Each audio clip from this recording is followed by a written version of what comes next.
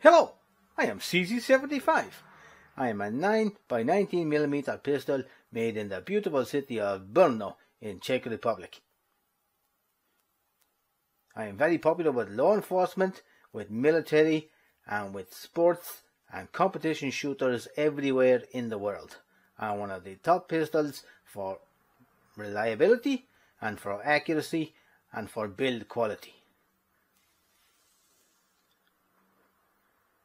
Get the fuck out of here, you commie piece of shit motherfucker.